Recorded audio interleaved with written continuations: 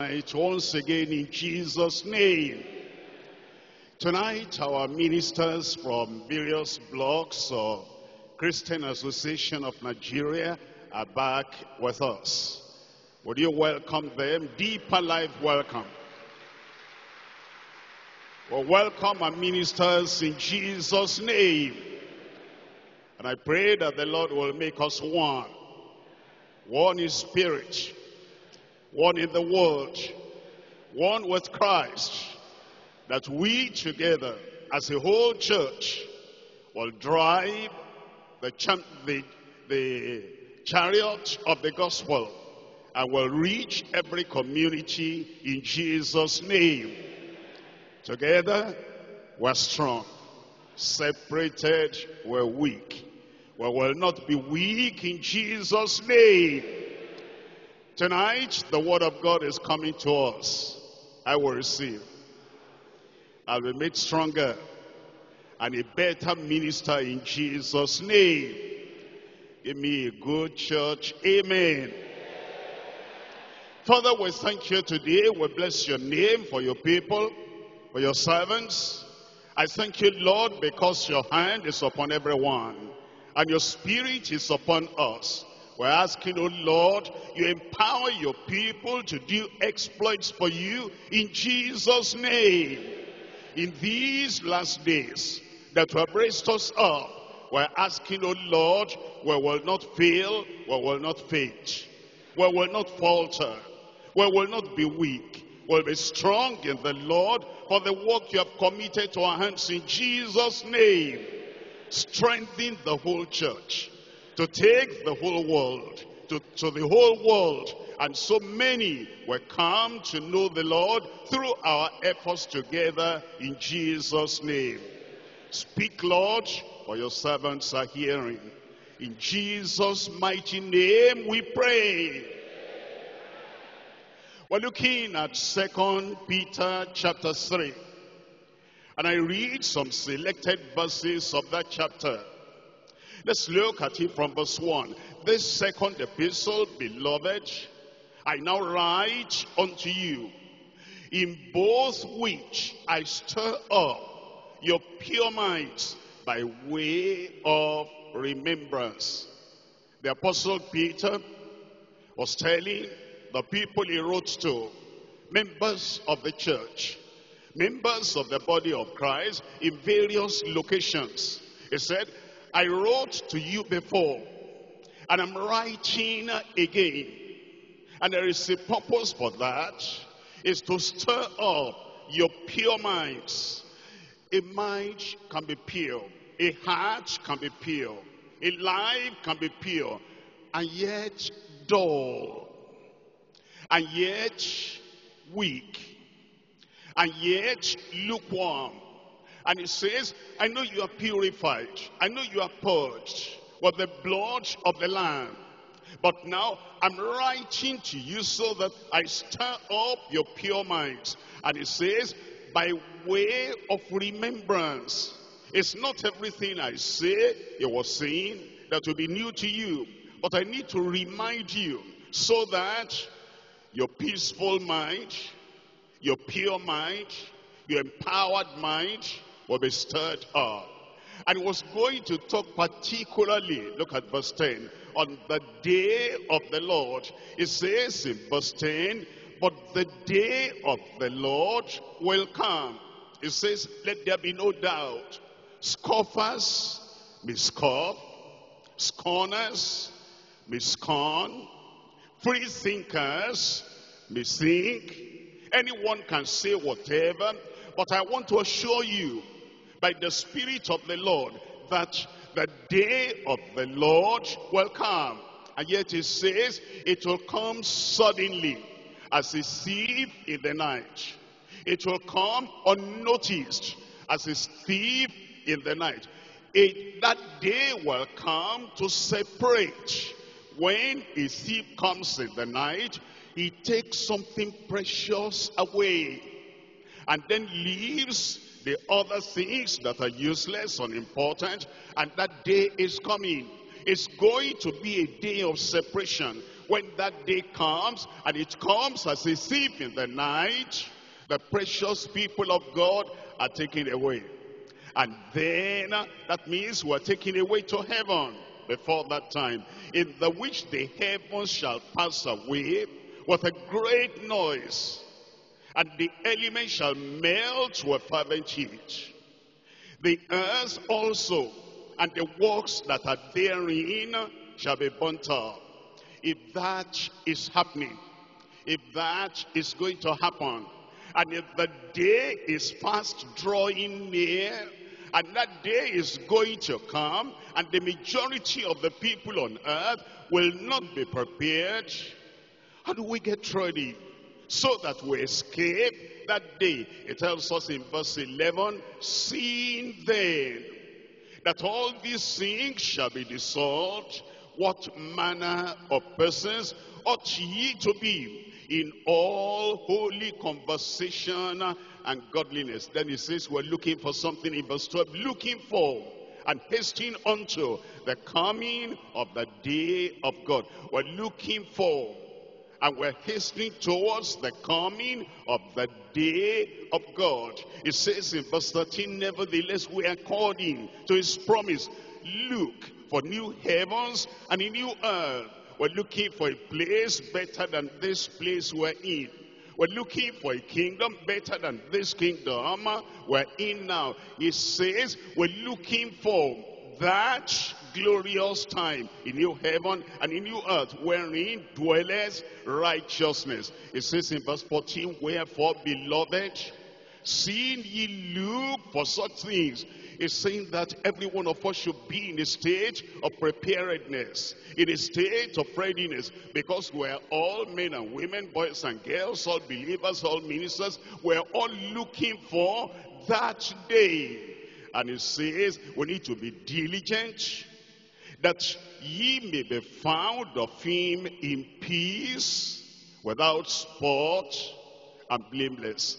Tonight, we're looking at the message the believer's daily anticipation for Christ's return.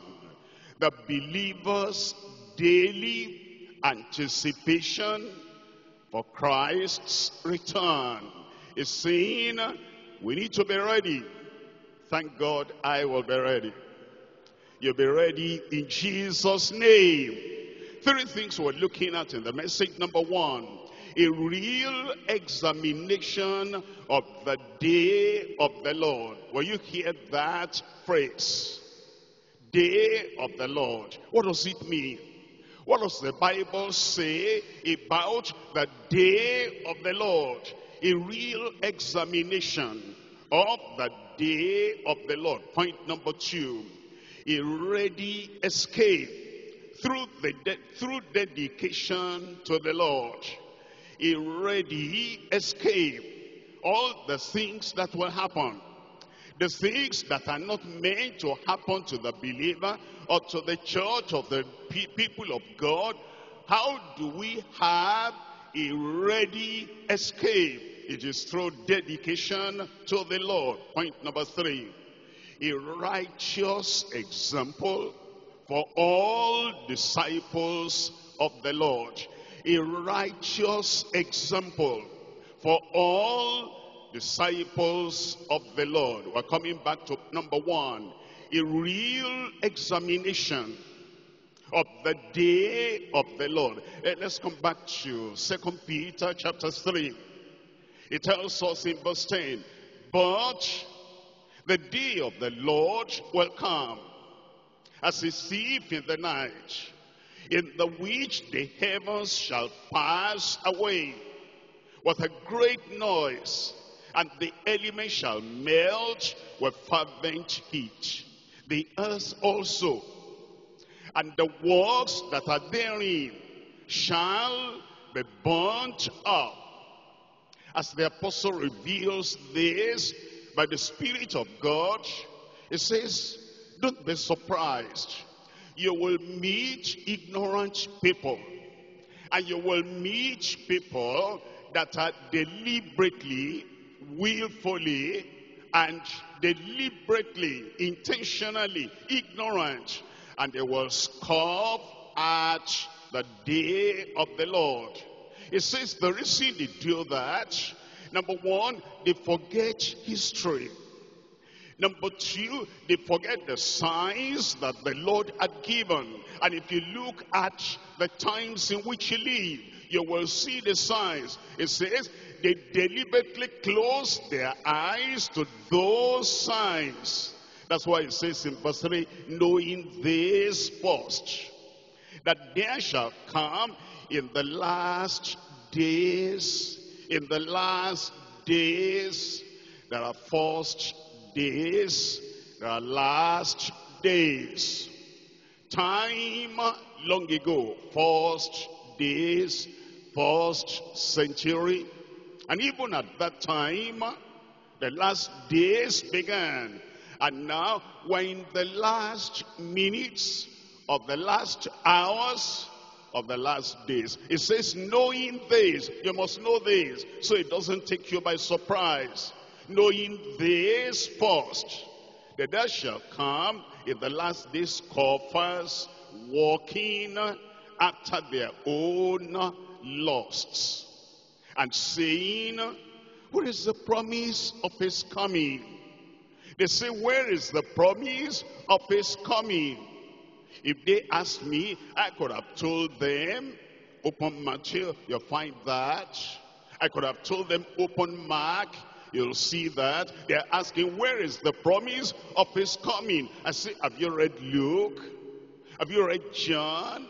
Have you read Acts of the Apostles? When the angel said, this same Jesus that you have seen going to heaven will so come in like manner. But they don't ask people who can give them the right answer.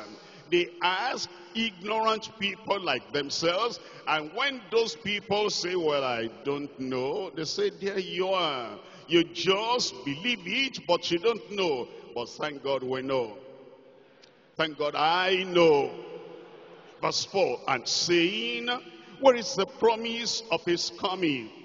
For since our fathers fell asleep, all things continue as they were from the beginning of the creation. Ah, ah, that's not true. And when they tell us that all things continue, we say no, it's not true. As you look at the world, and you look at the proportion of the river to the land, things have changed. As you look at the world and you look at all the mechanisms and everything we use, the bicycle has come and the motorcycle has come and the cars have come and the trucks have come and the aeroplanes have come, things have changed. As you look at the world, you're thinking about the warming. That is the heat. It wasn't like this before. Things have changed, but these people willingly, they're ignorant and they said, since the beginning of the world, everything continues the same. Not really, knowledge has increased. Not really, the you know various things in the world have turned around. And then it says, for this they willingly are ignorant of. There's knowledge if they open their eyes. They'll see the change if they open their eyes. They'll hear volcanoes and tsunamis and all the disturbances on the sea if they open their ears. But they're willingly ignorant that by the word of God, the heavens were of old, and the earth standing out of the water and in the water, whereby the world that then was, and is no more, being overflowed with water perished. But the heavens and the earth, which are now by the same word are kept in store, reserved unto fire against the day of judgment and perdition of ungodly men. A real examination of the day of the Lord. This day of the Lord we're talking about, look at Isaiah. Isaiah chapter 2. The day of the Lord. Let's examine. Let's read. Let's understand. Isaiah chapter 2 verse 12. For the day of the Lord of hosts shall be upon everyone that is proud and lofty, and upon everyone that is lifted up, he shall be brought low. Look at verse 17. And the loftiness of man shall be bowed down, and the haughtiness of men shall be made low, and the Lord alone shall be exalted in that day. The day we live now is the day of man. And man says, I'm free. I can do whatever I want to do. It's my day. I have a free will and I have the liberty. I can do whatever. I can live without thinking of God, thinking of salvation, thinking of future, thinking of anything. It is the day of man. But then the day of man will come to an end. And God will take over. And God will say, this is my day, day of the Lord. And at that day, only the Lord shall be exalted. And the idols he shall utterly abolish.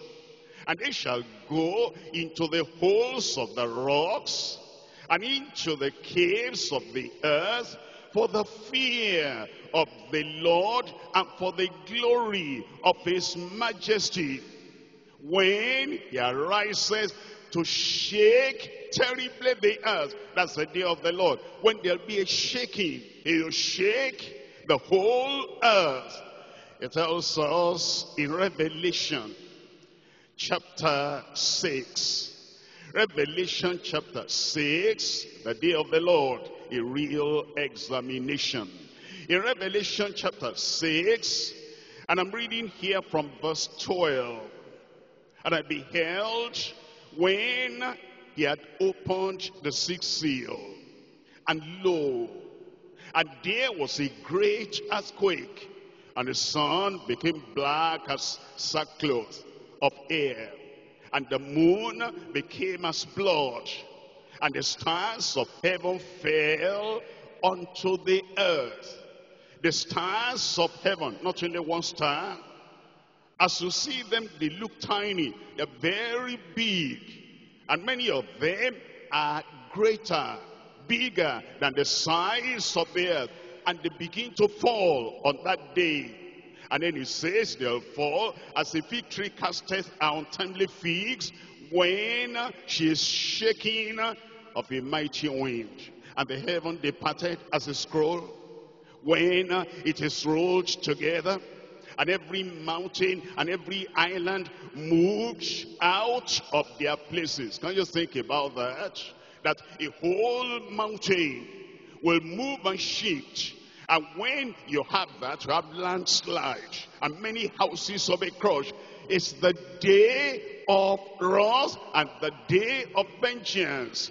And the kings of the earth in verse 15 and the great men and the rich men and the chief uh, captains and the mighty men and every bondman and every free man hid themselves in the dens and in the rocks of the mountains and said to the mountains and to the rocks, fall on us and hide us from the face of him that sitteth in the throne, on the throne, from the face, from the wrath of the Lamb. For the great day of his wrath is come. That's the day of the Lord. The great day of his wrath is come, and who shall be able to stand? Let's come back to Isaiah chapter 13. And I'm reading from verse 6, Isaiah chapter 13. A real examination of the day of the Lord. Isaiah chapter 13, and we're reading from verse 6. Here he tells us in verse 6 concerning the day of the Lord. It says in verse 6, How ye cry, scream, for the day of the Lord is at hand. The day of the Lord is at hand. It shall come as a destruction from the Almighty. It's not going to be a day of joy, a day of merriment, a day of picnic, a day of little, little things. It's going to be a day of devastation and destruction. Therefore shall all hands be faint, and every man's heart shall melt, and they shall be afraid. Pangs and sorrows shall take hold of them and do you notice the language? Isaiah, the prophet, is not counting himself as one of the people that will have the sorrow and the pang and the devastation. He says, they shall have. It shall happen unto them. Believers will escape. I will escape. It says, they shall be in pain as a woman that travaileth they shall be amazed one at another. Their faces shall be as flames. Behold, the day of the Lord cometh. Cruel both with wrath and fierce anger to lay the land desolate. And he shall destroy who? Sinners thereof out of it. For the stars of heaven and the constellations thereof shall not give their light. The sun shall be darkened in his going forth, and the moon shall cause her light, shall not cause her light to shine.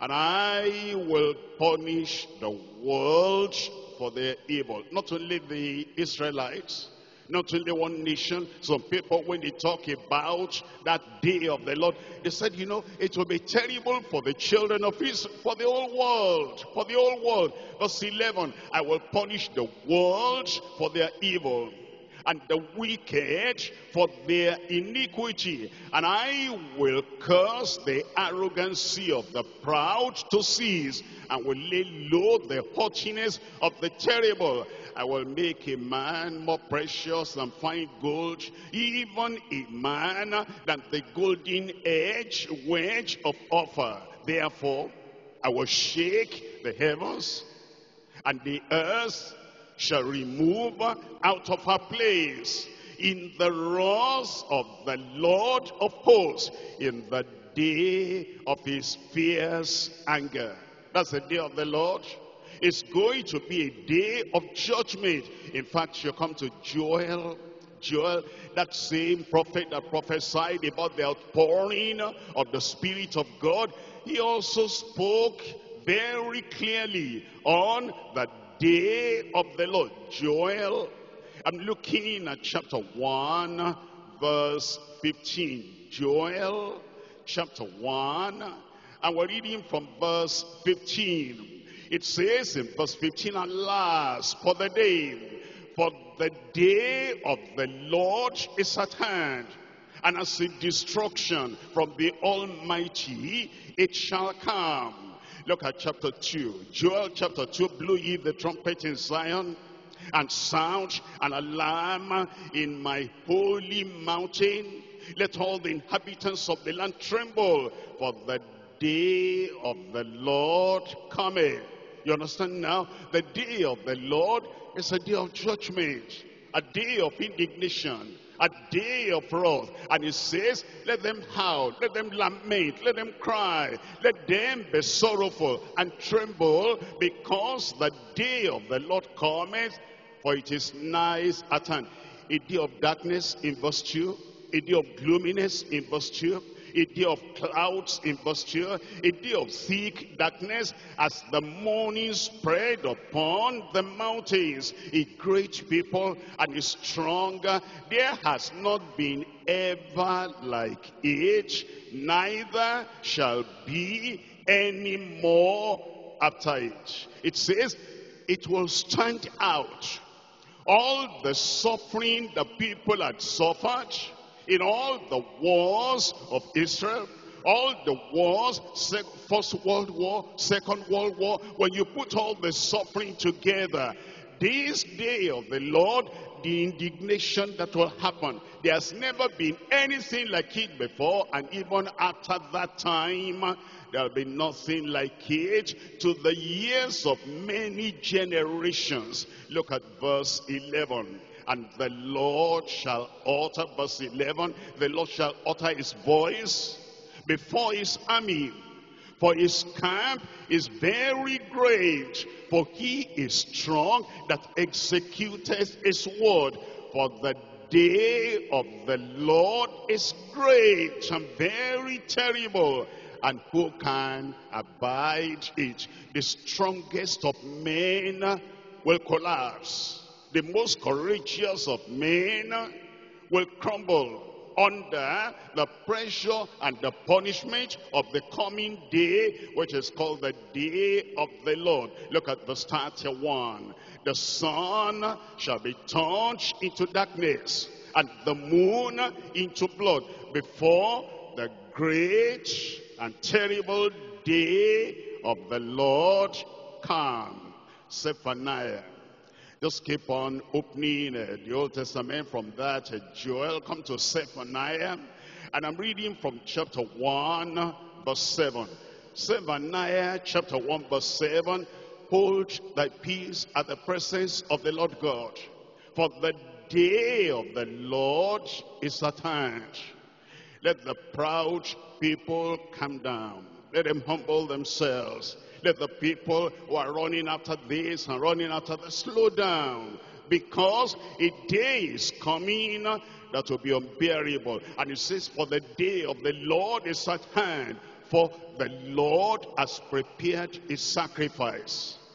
He has bid his guests. And it shall come to pass in that day of the Lord's sacrifice that I will punish the princes and the king's children, and all such as are clothed with strange apparel. Look at verse 12.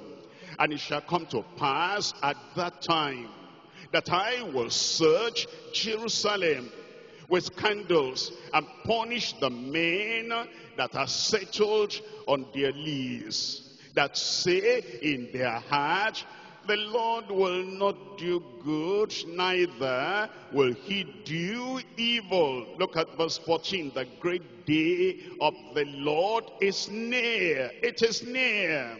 And hasteth greatly.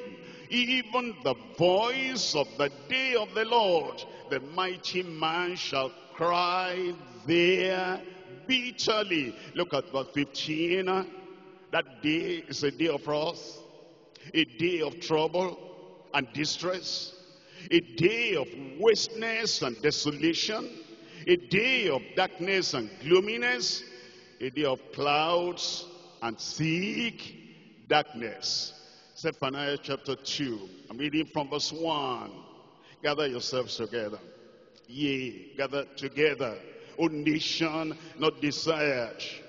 Before the decree bring forth before the day pass as the chaff, and before the fierce anger of the Lord come upon you, before the day of the Lord's anger come upon you, seek ye the Lord, O ye meek of the earth, seek him now, search for him now, touch him now, reconcile with him now, get your sins forgiven now, before that day of doom and destruction comes, seek ye the Lord, all ye meek of the earth, which have wrought his judgment.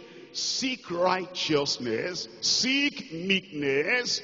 It may be ye shall be hid in the day of the Lord's anger. He will hide you. I said he will hide you.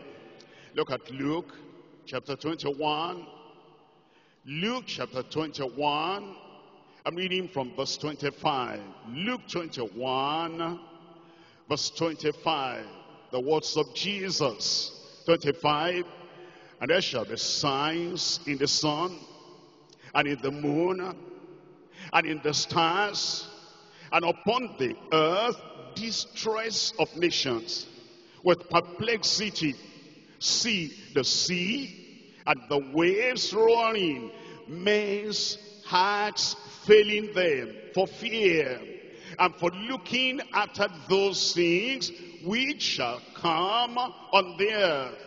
For the powers of heaven shall be shaken. That's the day of the Lord. Can we escape? Of course. Can you escape? Of course. What's the provision of the Lord for us to escape? Point number two. A ready escape through dedication to the Lord. We're coming back to Second Peter. Second Peter chapter 3. I'm reading from verse 9. It says in verse 9, the Lord is not slack concerning his promise.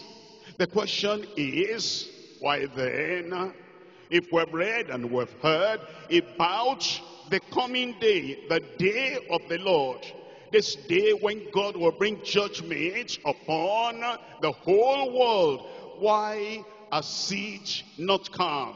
That's the uh, that's what the verse is trying to answer now. The Lord is not slack concerning his promise, as some men count slackness, but is long suffering towards what? Not willing that any should perish Give me a good amen. He's not willing that any of us will perish. You will not perish. I will not perish. He's not willing that any of our neighbors should perish. They will not perish if we go to them and we tell them about the Savior. About God so loved the world, he gave his only begotten son that whosoever believeth in him should not perish, will not perish, but have everlasting life. The gift of life and the gift of salvation is now available. Go tell everybody, everyone you love, everyone you meet, everyone you have compassion for, go and tell them because God is not willing that any should perish, but all should come to repentance. That escape is not automatic. There must be repentance that all should come to repentance. Look at verse 11. Seeing then that all these things shall be dissolved when the day of the Lord comes. Seeing then that all the things of the world, the houses in the world, and all the possessions of the world, and all the certificates of the world, and all the property of the world, that day of the Lord will dissolve everything. Seeing then that all these things shall be dissolved, what manner of persons ought ye to be in all holy conversation, holy conduct, holy character, holy behavior, and godliness. It says, looking for in verse 12, and hastening unto the coming of the day of God, wherein the heavens being on fire shall be dissolved, and the elements, all the property in here, it says, they shall melt with fervent heat. Nevertheless, we, according to his promise,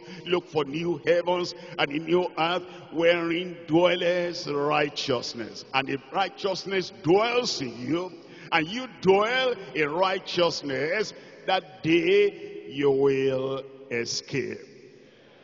In verse 14, wherefore, Beloved, seeing that ye look for such things, be diligent. We're not going to be careless. We're not going to say, well, whatever will happen, will happen. If God wants me saved, he will save me. If God wants my family to be saved, he will save them. God can always save anybody. It says, don't act like that. That will be an attitude of being careless. And that will be gambling with your life eternal. You will not gamble with your life. I was waiting for a good amen.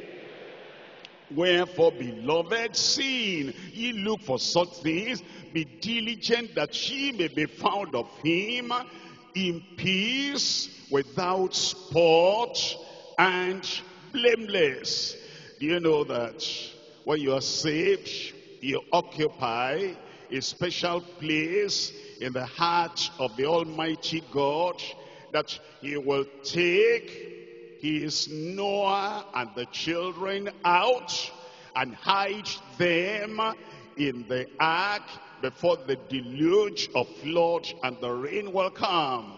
When you are precious to the Lord, he will take his Lot and the daughters that are ready, he'll take them out before the fire comes upon Sodom and Gomorrah.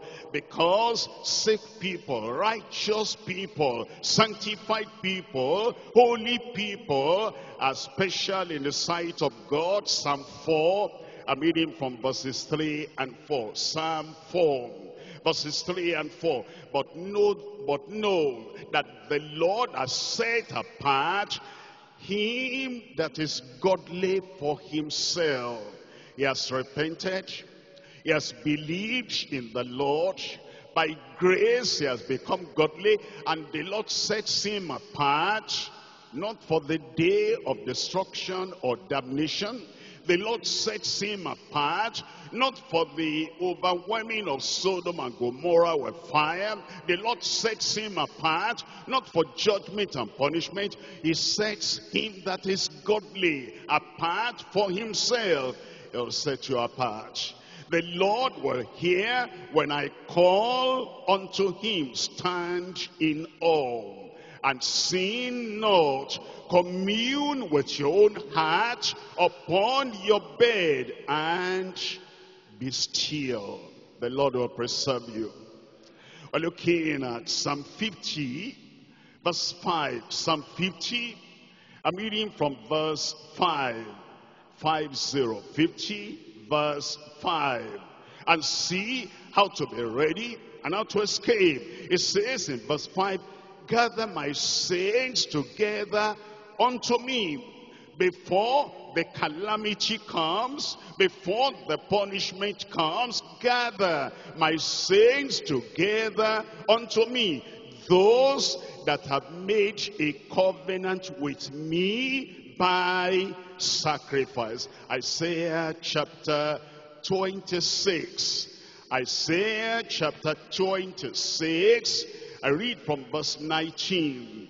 Isaiah 26, verse 20 actually. Verse 20, come my people, enter thou into thy chambers and shut thy doors about thee. Hide thyself as it were for a moment until the indignation be overpassed. He calls his people, the godly ones, the righteous ones, the people of God, those who have made a covenant with him, those who have taken a decision. I am for God and he is for me.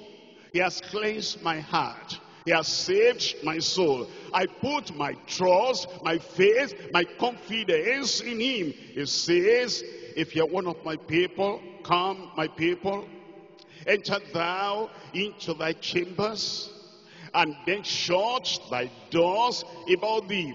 Hide yourself, as it were, for a moment, until the indignation be overpassed. For behold, the Lord cometh out of his place to punish the inhabitants of the earth for their iniquity, and the earth also shall disclose her blood, and shall no more cover her slain. Jeremiah chapter 51. Jeremiah chapter 51. And we're reading from verse 6. Jeremiah chapter 51 verse 6. Flee out of the midst of Babylon and deliver every man a soul. Be not cut off in her iniquity, but this is the time of the Lord's vengeance. He will render unto her a recompense. That same chapter, look at verse 45.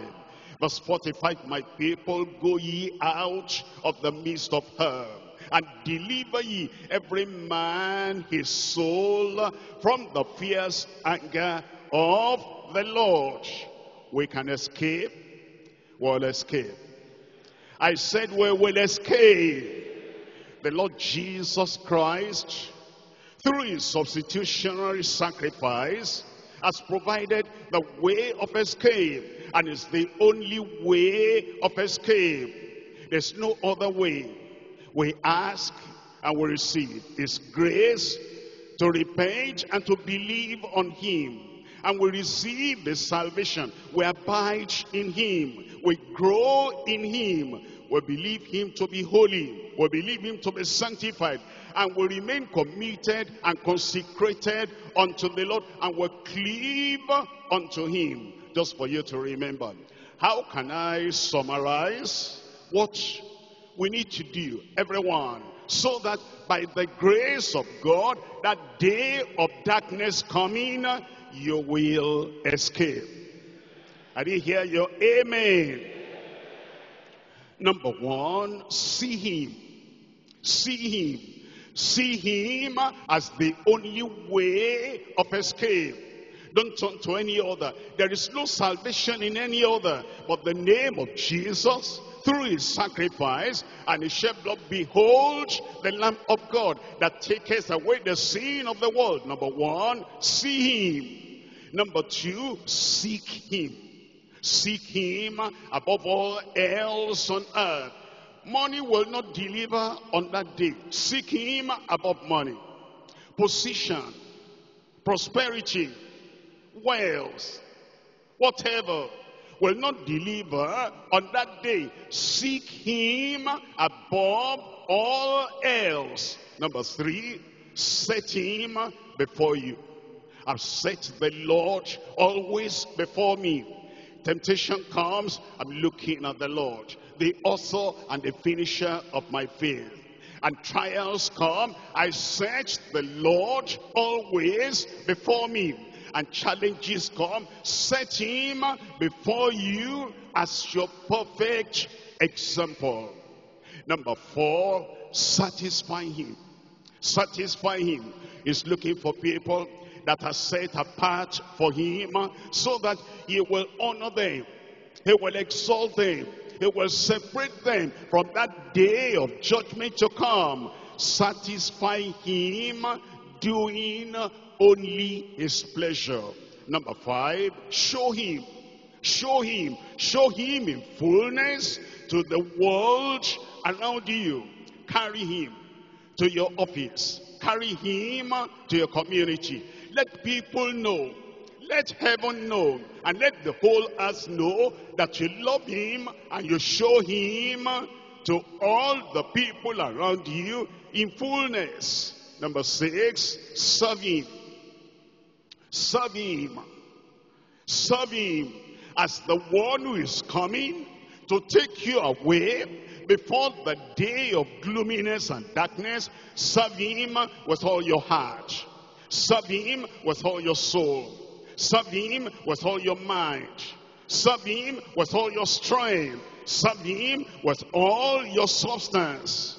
Number seven, stand up for him stand up for him. The people of the world, not knowing the glory of the Lord, they take his name, they put it in the mud. You will stand up for him. You will say, that's my Lord. That's my Savior. That's my Redeemer. When they jest, when they joke, when they blaspheme, when they say things they shouldn't say, when they compare him with ordinary men, that's the time you are to stand up for him. Before all people, stand up for him. In all places, stand up for him. In every, at every opportunity, stand up for him. At all times, good times, bad times, rainy time, rainy season, and dry season, stand up for him by all means, all the energy you have, all the consecration you have, all the courage you have, all the backbone you have, you stand up for him. And then, in all situations, and then until your last breath, until your last breath, you will stand for him. Stand up, stand up for Jesus, his soldiers of the cross whatever comes and whatever betides, you will see him. You will seek him. You will set him before you as your perfect example. You will satisfy him. You will show him in fullness to the world.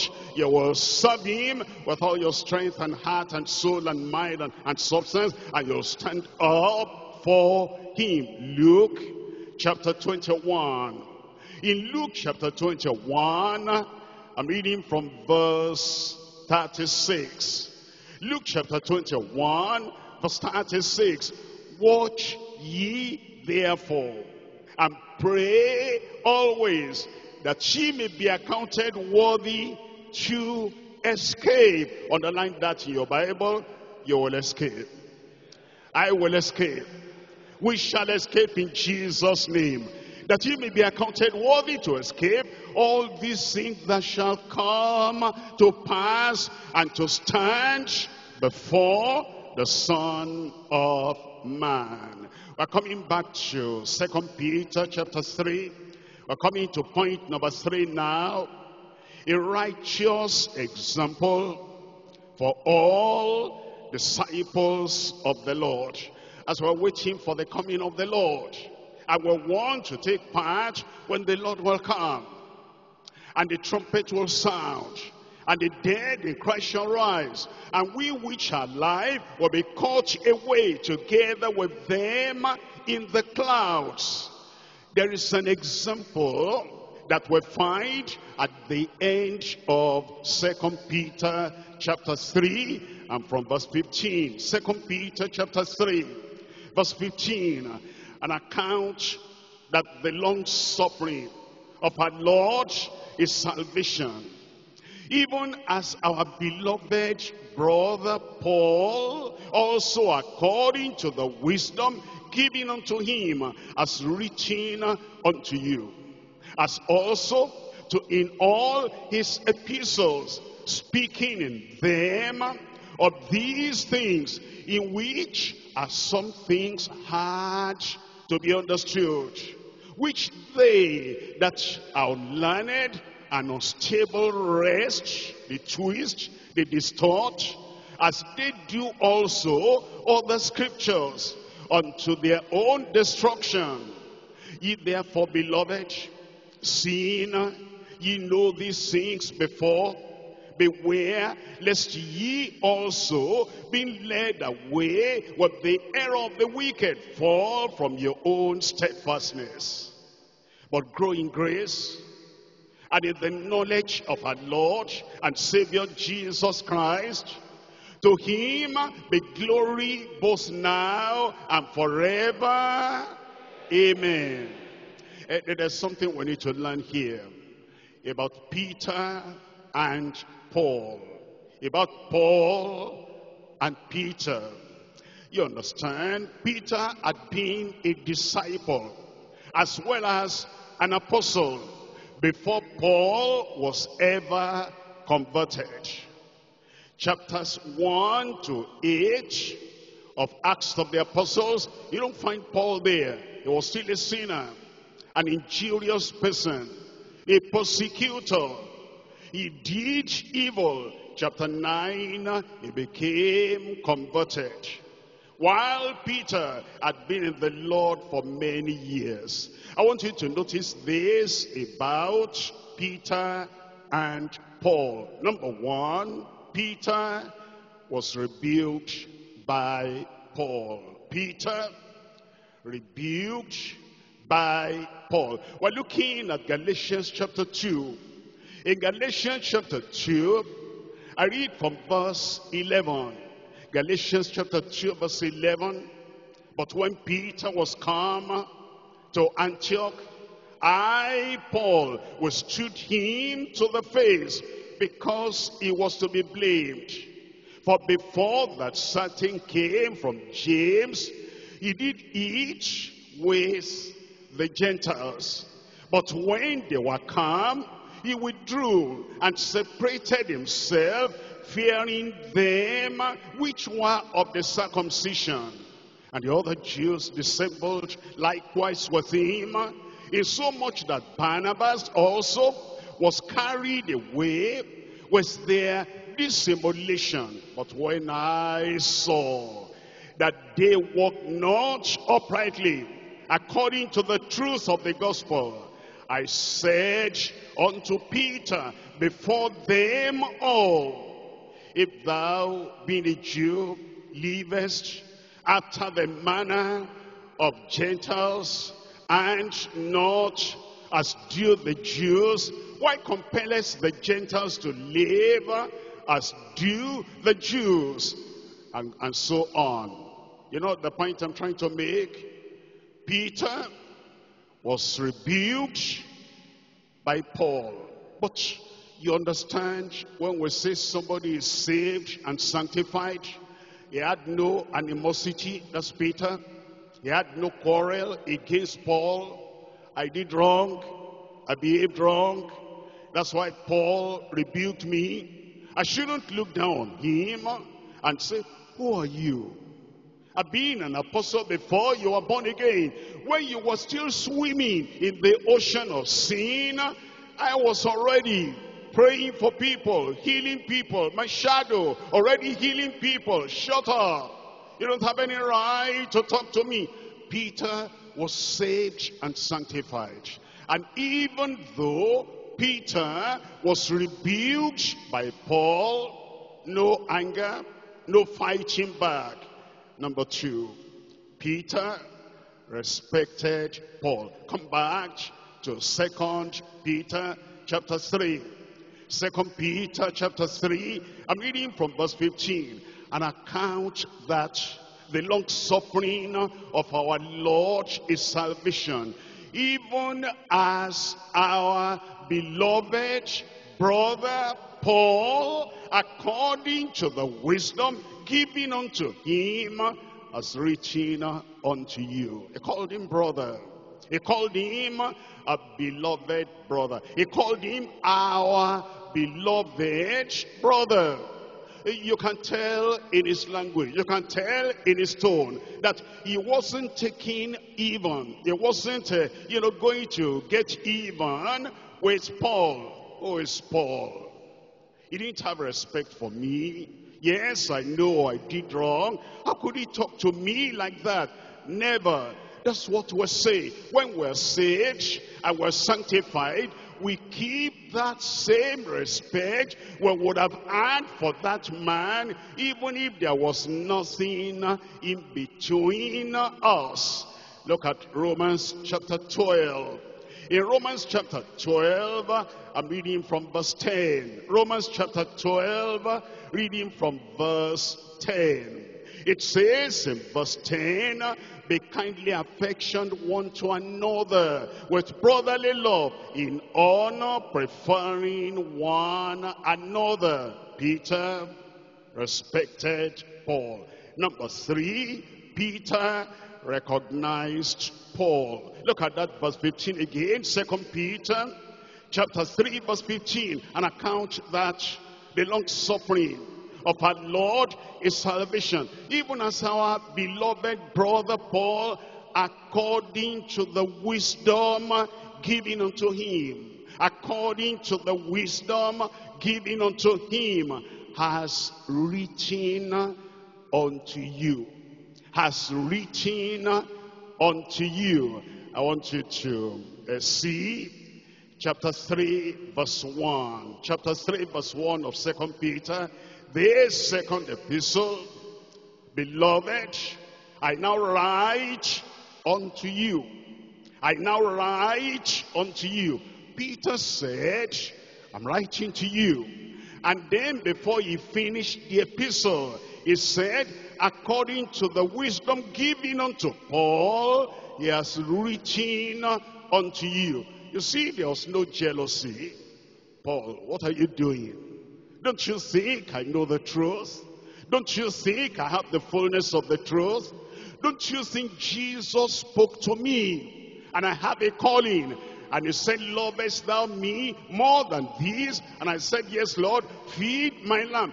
Why are you writing to the same people I'm writing to? Why are you counseling the same people I am counseling? He said, according to the wisdom that is given unto Paul by God as he has written to you. He recognized Paul. Number one, Peter was rebuked by Paul. Number two, Peter respected Paul. Number three, Peter recognized Paul. Number four, Peter recommended Paul. Peter recommended Paul. There's some people that will say, I won't talk bad about him. I won't talk good about him. If he has a ministry, let him prove himself. If he has a calling, let him prove himself. I know my calling. And since I know my calling, I will do what God has given me to do. I'm not going to recommend anybody. But Peter recommended Paul. Look at verse 16. Second Peter chapter 3 verse 16. As also in all his epistles. All his epistles. No jealousy. Peter wrote only two epistles. And Paul wrote 14, if you count Hebrews of them. And there was no jealousy. And he said, all his epistles, all his epistles, the wisdom of God is there. All his epistles, the revelation of God is there, speaking in them of these things in which there are some things hard to be understood. That Paul, he came after me and came after us and he went to the third heaven and he saw paradise and he saw those angels and he had things that were difficult to even talk about. He respected him he recommended him. In all his epistles go read in verse 16 it says there had to be understood some of them uh, which they that are unlearned and unstable rest twist distort as they do also other scriptures to their own destruction. He said, nothing wrong with Paul, nothing wrong with the writings of Paul, nothing wrong with the epistles of Paul. In fact, he equates the epistles of Paul to scripture. He said, as did do the scriptures. Number five, Peter reproved those misinterpreting Paul. Peter rebuked, reproved those misinterpreting Paul. That's why it says in the latter part, which they that are unlearned and unstable rest, as they do also other scriptures unto their own destruction. And then number six, Peter re-emphasized the same message as Paul. Peter said, what is it? There's some people in their own uh, individualistic approach. I won't say what he is saying. I won't preach what he is preaching. I want to be original so the people that hear me will know I am in every way original. Peter re-emphasized the same message as Paul. Verses 17 and 18. Ye therefore, beloved, seeing ye know these things before, beware lest ye also be led away with the error of the wicked fall from your own steadfastness. Peter was telling the people, be steadfast, grow in grace and in the knowledge of our Lord and Savior Jesus Christ. To him be glory forever and ever. Amen. The word there is steadfastness. Steadfastness in First Corinthians chapter 15. First Corinthians chapter 15. I'm reading from verse 58. The same thing Paul had said, Peter also re-emphasized. Therefore, my beloved brethren, be ye steadfast, unmovable, always abounding in the work of the Lord, for as much as you know that your labor is not in vain in the Lord. As we go to our various districts, we emphasize the same thing we're hearing uh, at the center here. In all the states, everywhere, as we are being trained together and we're united together, we re-emphasize the same thing uh, and the work of God will prosper in our hands together in Jesus' name. I thought you'd say good amen. Number seven, Peter released his trusted sons to Paul. Have you ever thought about that? That Peter released his trusted sons to Paul. Where do you see that? Look at First Peter chapter 5. First Peter chapter 5. I'm reading from verse 12. First Peter chapter 5, verse 12 by Silvanus, a faithful brother unto you. As I suppose I have written briefly, exhorting and testifying that this is the true grace of God. When in his time, Silvanus was a worker with Peter. And when he wrote the first epistle of Peter, it was Silvanus that was the pen man. And through him, he sent that epistle to the people. Silvanus, a trusted son to Peter. Look at verse 13. The church that's at Babylon, elected together with you, salutes you. So does Marcus, my son. Marcus, my son. Two people there. Actually, Peter trained them, taught them, brought them up. Silvanus. Let's look at First Thessalonians chapter 1, verse 1. First Thessalonians chapter 1, verse 1. Paul and Silvanus and Timotheus unto the church of the Thessalonians. Second Thessalonians chapter 1, verse 1. Paul and Silvanus and Timotheus unto the church of the Thessalonians in God, our Father, and the Lord Jesus Christ. That Silvanus, Paul released to Paul. Second Timothy chapter 4. Second Timothy chapter 4. Reading from verse 11. The apostle Peter said, Marcus, my son. Now look at this. Second Timothy chapter 4 verse 11. Only Luke is with me. Take Mark, Marcus, and bring him with thee, for he is profitable to me for the ministry. Peter did not say, uh-uh, Paul, don't go that way. That's going too far. I need him too. I trained him for a purpose. So look for another person. You have enough. You have Timothy, you have Titus, you have Epaphroditus, you have Aquila and Priscilla, and you have all those other people. Leave mine alone. Peter released his trusted son to Paul. We're getting ready for the coming of the Lord. All selfishness was thrown away from our lives. All self-centeredness was thrown away from our lives. And all anger and all bitterness and all unforgiving spirit. He spoke to me that way. He corrected me that way. And he looked down on me that way openly. Can you imagine that Paul spoke to me like that? Peter forgot. You will forget.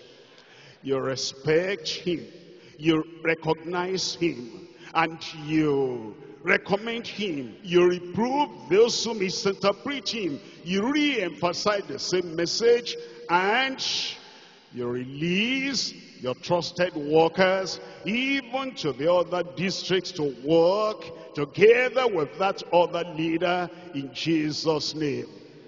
You'll be a favorite of heaven. You will be a special, peculiar minister in heaven.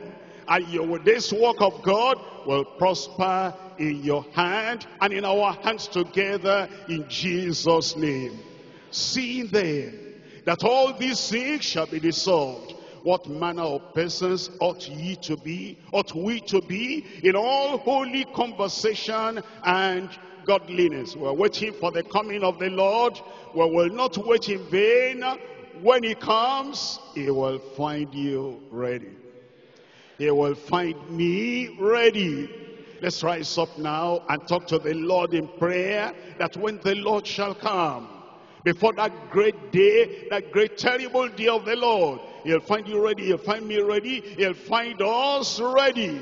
Let's help one another assist one another, encourage one another, pray for one another, respect one another, and intercede for one another, and build one another, so that as your work is prospering, his own will be prospering, our own will be prospering, will prosper together, and when the Lord comes, it will be a great, glorious day for you, for me, for us, in Jesus' name.